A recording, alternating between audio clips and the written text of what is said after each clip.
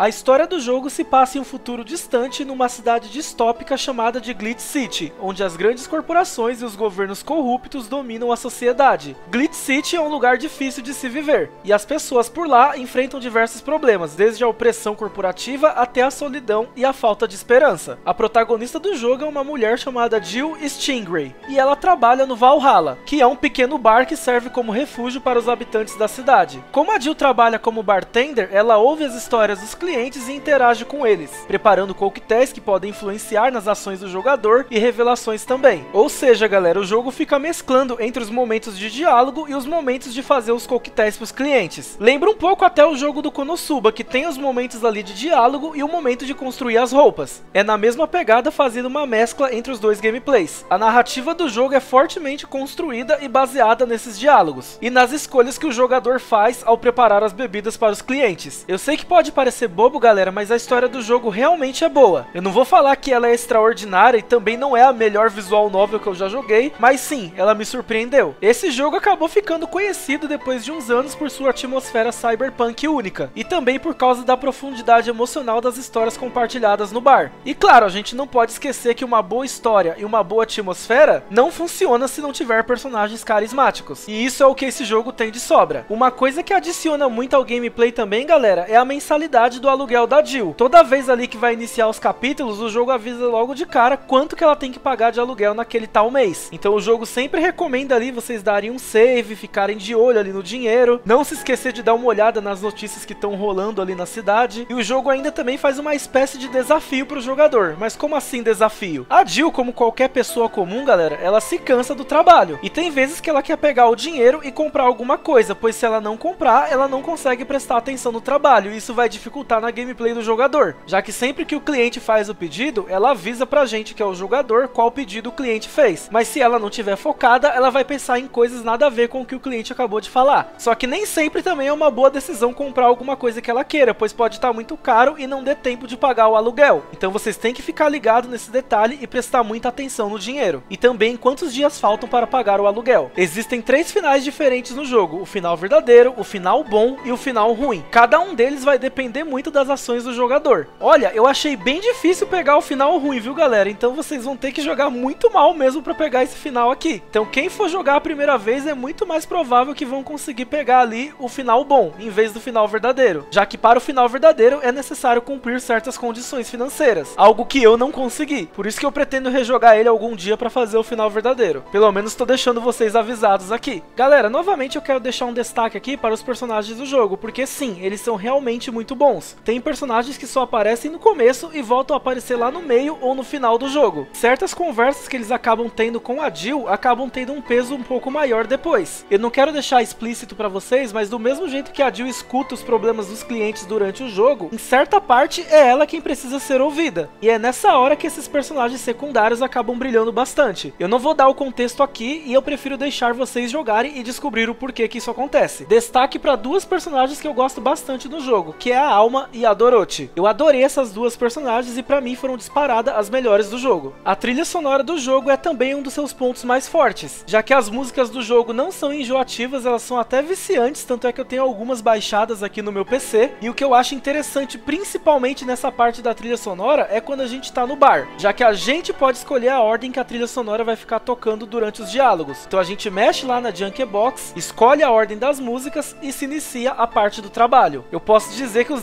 desenvolvedores nessa parte aqui foram bem criativos. Não foi simplesmente só uma trilha sonora tocando ao fundo, eles ainda fazem a gente escolher o que vai tocar, como se fosse algo ali do mundo do jogo. Mesmo a gente sabendo que é algo que é feito para ficar tocando ao fundo do gameplay, não tem como não destacar a criatividade dos devs, já que nós literalmente temos controle sobre a trilha sonora durante o gameplay. O gráfico do jogo também me agrada bastante, já que os gráficos são em estilo pixel art. Vocês aqui do canal me conhecem, eu adoro gráficos pixel art.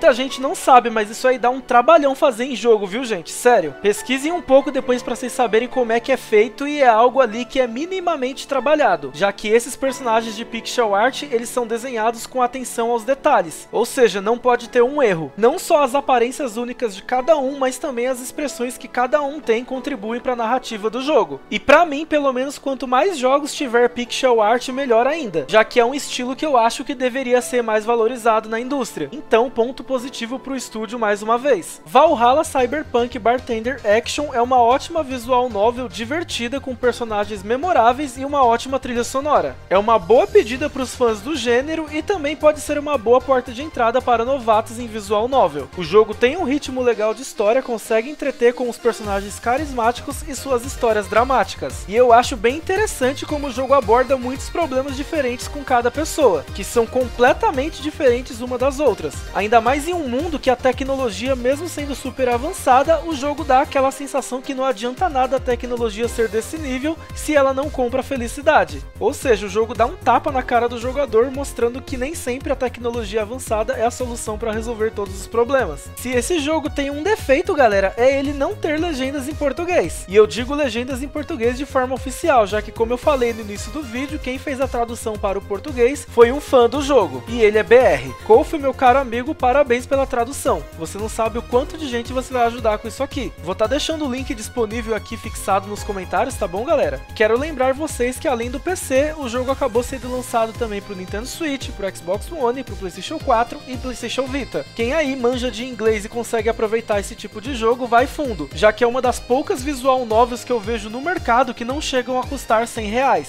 Eu tô afirmando isso aqui para vocês, é uma das visual novels que tem preço mais justo aí no mercado. Lembrando que o jogo foi desenvolvido pelo estúdio venezuelano Sukeban Games e publicado pela Isbridge Games. Para quem tiver interessado, vocês conseguem encontrar outras visual novels com legendas em português no site da Ramp Brasil. Eu não vou estar tá mostrando aqui exatamente o link do site deles, senão o meu vídeo vai acabar sendo derrubado, já que o YouTube, infelizmente, atualmente ele considera que qualquer tipo de site que vocês mostrem, mesmo que não seja algo ali ilegal e seja de tradução, eles acabam bloqueando ou derrubando o vídeo. Então é por isso que eu mostrei rapidamente ali a imagem do site. É só vocês pesquisarem que vocês vão achar outras visual novels lá que tem legendas em português. E uma surpresinha aqui no final. O jogo ele vai ganhar uma sequência, mas ainda sem data. O nome do próximo jogo vai ser Nirvana Cyberpunk Bartender Action. Vai se passar em uma nova cidade e vai seguir com uma nova protagonista, mantendo o mesmo estilo de jogabilidade de Valhalla. O que resta agora é aguardar a continuação e eu muito provavelmente quando eu jogar e zerar, eu vou fazer uma análise aqui do canal do Nirvana também. Bom galera, é isso, espero que tenham gostado do vídeo, muito obrigado para quem acompanhou até aqui. Comentem aí o que vocês acharam do jogo, o que acharam da análise. Se possível, aperte ali no botão de hype para ajudar no engajamento do canal e nos vemos nos próximos vídeos. Valeu e tchau, tchau!